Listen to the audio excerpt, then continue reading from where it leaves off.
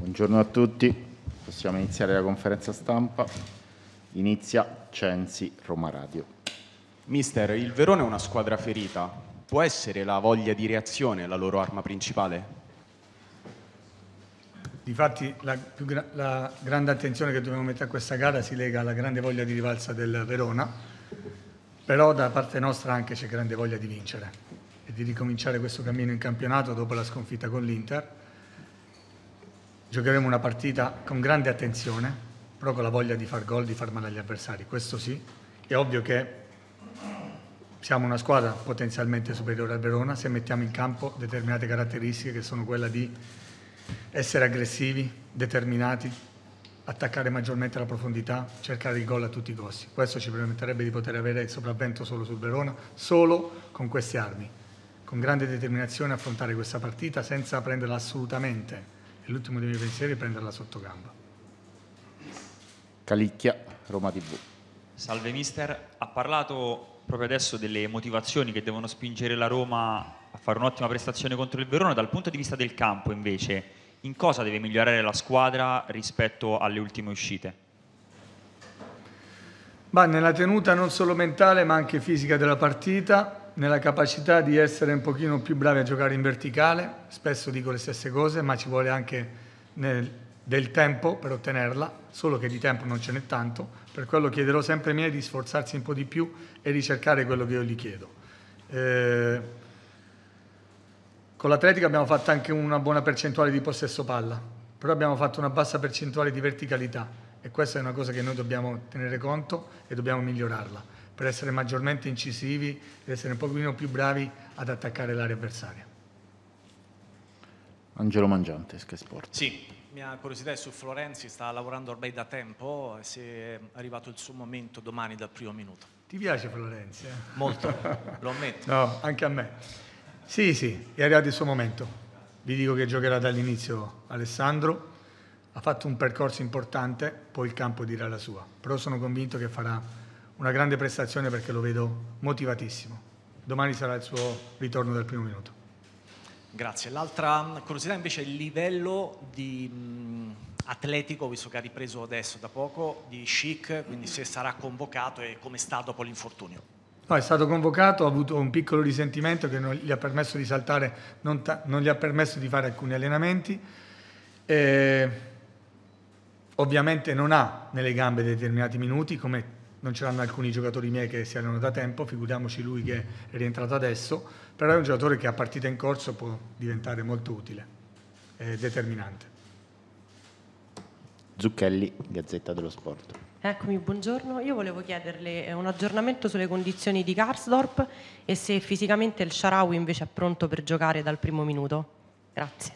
Il Sharawi è pronto per giocare dal primo minuto e Karsdorp ha avuto un affaticamento muscolare, muscolare che stiamo valutando insieme ai dottori, per quello ha dovuto fermare un po' gli allenamenti e il suo percorso anche di riatletizzazione per entrare il prima possibile in squadra.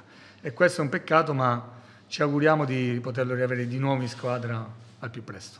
Però in questo momento per qualche giorno sarà fermo. Pastore, il romanista. Buonasera. In un'intervista rilasciata al nostro giornale, Nangolan l'ha definita un allenatore di grande personalità, difendendola anche con un certo vigore. Eh, che peso hanno queste parole in una fase come questa? Io credo che siamo a 270 minuti di partite ufficiali e stiamo creando dei polveroni insensati. Però detto questo, ognuno è libero di pensare, scrivere, dire quello che vuole, ma una cosa che vi posso dire è che io sono resiliente e sono abituato a tutto questo perché non ho ottenuto mai niente attraverso determinate caratteristiche, per quello che è stato il mio percorso sia da calciatore che da allenatore. E sono, sono parole che fanno solamente piacere, che danno forza e credo a un qualcosa a cui già credevo e non avevo dubbi. Maida, Corriere dello Sport. Buongiorno, eh, avrà sentito le parole di Geco anche dopo la partita con poi rettifica eh, del giorno dopo. Volevo chiedere, al di là de, de, del discorso delle polemiche che non, non, mi interessano sinceramente, come si fa a aiutare di più Geco a essere quello dello scorso anno? come cosa deve fare la sua squadra, cosa sta pensando di fare per aiutarlo. Grazie. Ah, a volte a caldo si dicono delle cose che non si dovrebbero dire, no? che, eh, che a me sicuramente non sono piaciute, sono state chiarite, però io credo che Edin si debba mettere ancora più a disposizione della squadra, del collettivo. È normale che un attaccante quando non fa gol o quando magari ha poche occasioni eh, fa fatica, però ricordiamoci le partite che abbiamo avuto in cui una ha fatto gol, una abbiamo sofferto che è stata quella di Bergamo, lo dimostra anche la partita dell'Everton di ieri, che valore ha avuto quel successo per la condizione anche attuale di quella squadra lì.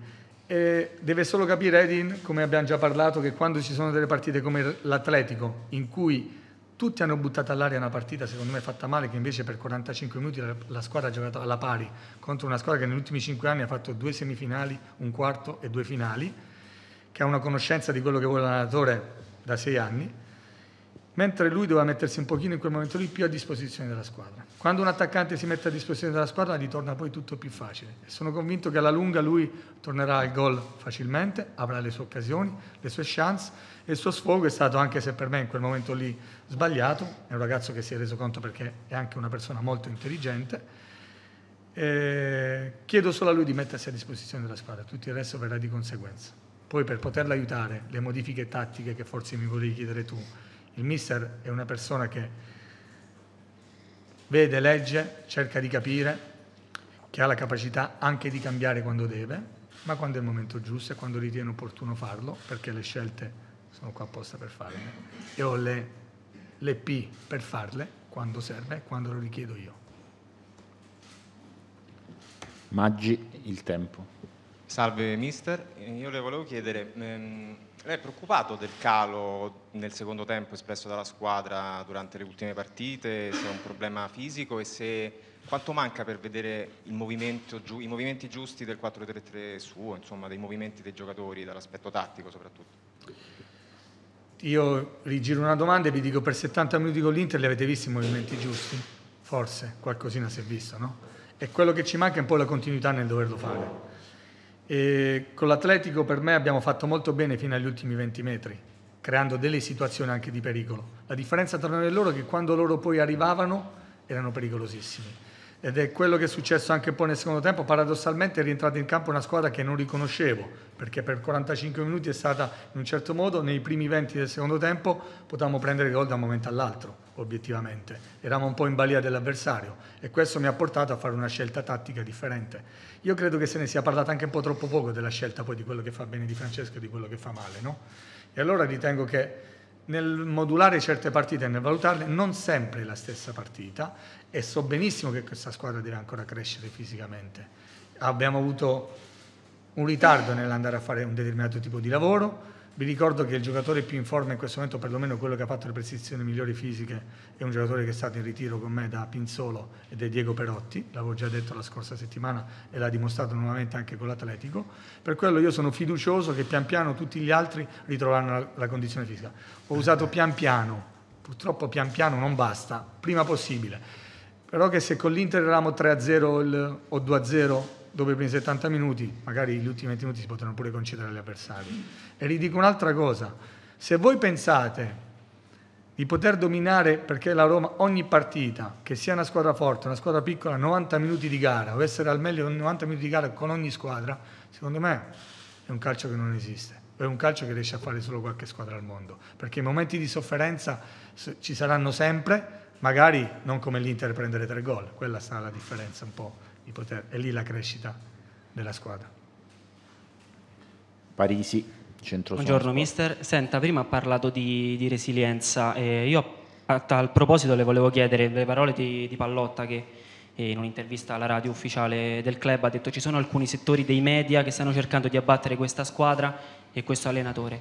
Le chiedo se sente eh, intorno a lei questo negativismo. Ma che, che, lo possa sentire sarei un ipocrita se dicessi il contrario, però lo trovo alquanto prematuro e fa parte di questo mondo, ma io essendo arrivato a Roma, avendolo vissuto tanti anni, non mi meraviglio di niente, dico solo che quello che è stato eh, detto eh, di falso del dopo gara, che Pallotta è venuto a lamentarsi con me, con i giocatori e con tutti i dirigenti, è una grandissima bugia, è una falsità, messa in giro per sentito dire o per detto da amici Pot- potrei dire anche io tante cose di chi sta seduto qua per sentire Dio e giudicarvi per quello che non siete, ma io sono una persona corretta e mi reputo una persona per bene come qualcuno ha detto e sono felice di essere per bene e corretto nei confronti di tutti e porto avanti quel mio modo di essere, pur avendo il mio modo di fare, il mio carattere. E non vi preoccupate che non ho un bel carattere quando mi ci metto. Detto questo, aggiungo che quello che è stato detto non è vero, il Presidente è venuto a fine gara e ha fatto i complimenti, era arrabbiato per il rigore non dato, per quello che ha detto, per quello abbiamo montato un qualcosa sul nulla, o su quello che ha detto Edin, che ha detto, magari facendo capire, magari interpretato in un certo modo, ma è giusto che poi possa essere, capisco che possa essere stato interpretato in quel modo lì, ci sta. Per il resto non devo aggiungere altro. Aggiungere altro dico solo che il negativismo sì c'è, ma io sono una persona che cerca di essere sempre positiva, cerco di ribaltarla poi con, la, con una cosa sola, il lavoro e il campo che deve dare, i risultati devono, dare, devono darmi ragione, solo quello. Risposte le altre servono relativamente. Cotumaccio, Rete Sport. Buon pomeriggio mister, lei stesso ha parlato di alcuni cali fisici anche negli ultimi minuti della partita, in particolar modo dopo il settantesimo. Vista anche la probabile tournée in Cina della prossima estate, secondo lei come si può coniugare, come si può fare oggi nel suo concetto di calcio moderno una giusta preparazione estiva? No, guarda, cioè, questo è come per crearmi un alibi, no? E io non me ne voglio creare gli alibi il fatto della, delle tournée. Io credo che ogni grande squadra, i primi top, top 10, top 20 al mondo, fanno tutte le tournée, per quello non posso arrivare io a dire che si fanno le tournée, tranne magari il Napoli che non l'ha fatta ha lavorato in un certo modo che sicuramente ti può dare dei vantaggi, non spostarti, fuso orario e tutto il resto. Però io bisogna capire e lavorare in un certo modo. Mm, più difficile magari per un calciatore può essere assimilare un metodo di lavoro, che è quello mio, che può essere differente da quello di Spalletti o da quello di chi c'è stato prima. Però non è che posso venire qua e lavorare o scimmiottare il lavoro fisico o se io cerco una squadra aggressiva corta non poter lavorare in determinati momenti. Nei carichi di lavoro ci sta anche che ci sia una assimilazione di questo e i ragazzi in questo momento arrivano a un certo punto in cui cedono. Però non è solo il settantesimo, perché se andiamo a guardare la partita con l'Atletica, se dobbiamo parlare dell'aspetto fisico, è dal 45 al 70 perché poi la squadra ha ripreso, ha ritrovato fiducia in un nuovo sistema di gioco, ha riguadagnato anche campo e ha preso solo un'occasione da gol nel finale su un colpo di testa sul calcio d'angolo. Per quello non è dal settantesimo, se no si, mette, si meccanizza un, un, un tempo massimo. Io credo che la squadra deve arrivare col tempo a raggiungere 90 minuti. Però voi vi basate su questo, su quale percentuale di partite, quello intendo dire io, capito? È, è prematuro fare un'analisi a tre partite, facciamola a 7, 8, 10 partite in cui si va a vedere che c'è sempre un carico di una squadra in un determinato momento della gara. Credo che sia un aiuto un pochino più generale, se no ogni momento andiamo a fare l'analisi che ci conviene, in base alle partite che vogliamo. Timpano, Teleradio Stereo. Buon pomeriggio mister. Le volevo chiedere dal punto di vista filosofico lei come intende il turnover, visto che la rosa a sua disposizione è molto ampia, e nello specifico se nel percorso invece di un giocatore, intendo, di under, di ambientamento, incide la lingua, visto che ancora non l'abbiamo visto in campo. Ah, l'avete visto in campo, magari non dal primo minuto, però magari lo vedete domani. Non lo so, questa è una scelta che devo fare, che sto valutando, è normale che la lingua e l'ambientamento, l'adattamento a un determinato tipo di lavoro di campionato è difficile, però parliamo di un giocatore che ha delle qualità importanti, che è giovane, che a me piace, ha dimostrato di avere delle qualità importanti, poi il tempo, ci vuole un po' di tempo per poterle far venire fuori, ma magari anche da domani eh, lo vedrete giocare dall'inizio.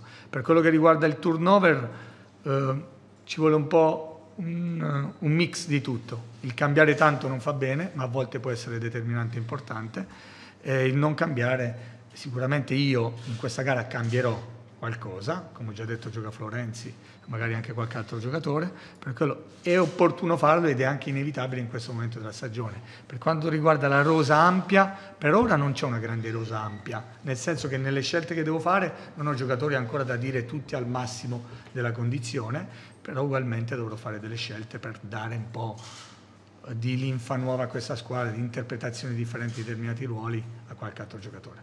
Infatti a Roma è un po' più filosofica in generale. Sì, però al momento in cui c'è la possibilità lo farò sicuramente, lo farò nei modi giusti e dove, nei ruoli che ritengo un pochino più dispendiosi anche rispetto ad altri.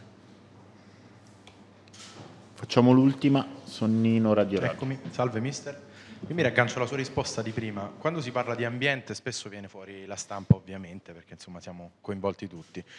Però le volevo fare questo esempio. Mm, L'onorevole D'Alema mh, ieri ha detto che la Roma sostanzialmente non ha gioco e che con, con questa- con questo tipo di squadra e con questo tipo anche di allenatore si lotterà, detto, diciamo si lotterà per la salvezza. Volevo sapere che cosa ne pensa. Beh, che lui, siccome è un grande esperto di vittorie, quando mi servirà gli chiederò a lui, chiederò a lui il- la possibilità di darmi delle le condizioni giuste per poterlo fare. Ma, ehm, ognuno è libero di esprimere quello che vuole, però bisogna anche conoscere delle persone, no? le caratteristiche umane delle persone per poter dire determinate cose. Detto, dopo, do- ribadisco, dopo 270 minuti, una partita persa, una pareggiata, una vinta, mi sembra un po' prematuro. È come se io dicessi che tutto ciò che è stato fatto in passato dov'è è tutto da buttare via. Sarei uno sciagurato. Però comunque chiederò consiglio se mi dovesse capitare, magari lo farò. Una richiesta last minute. Facciamo l'ultimissima. Per me anche fondo. 10 domande, per me non è un problema. Devo andare a fare solo allenamento, però vi rispondo tranquillamente a tutto. Uno al, vo- uno al volo, volevo chiederle dove farà giocare Florenzi a questo punto, perché esterno alto, esterno basso, esterno Eh, ma ne vuoi sapere troppe? no, eh, quasi sicuramente basso, legato anche al discorso di prima un po' del turnover, anche dell'adattamento, anche del tipo di partita. Magari con l'Atletico era meno opportuno portare un giocatore non nelle condizioni ancora, dico, per il tempo di gara ottimale. In questa partita in cui mi servono, mi servono giocatori, una partita anche d'attacco, perché non può essere diversamente, un giocatore che abbia determinate caratteristiche come lui, come, come Bruno Perez, per dire migliorato tantissimo in alcuni aspetti della fase difensiva, e magari a volte si toglie anche qualcosa di offensivo in cui vorrei che rimanesse, però eh, lo faccio giocare basso inizialmente. Prego. Grazie.